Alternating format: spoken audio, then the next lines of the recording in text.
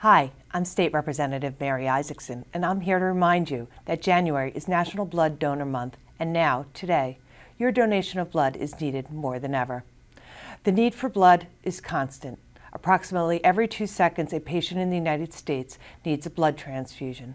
Donated blood products are perishable. Red blood cells have a shelf life of only 42 days, and platelets have a shelf life of only five days.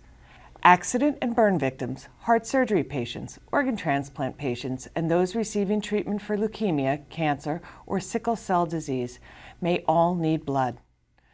Volunteer donors are the only source of blood and platelets for those in need of transfusions, and the whole process to donate blood from check-in, paperwork to actual donation is generally less than one hour.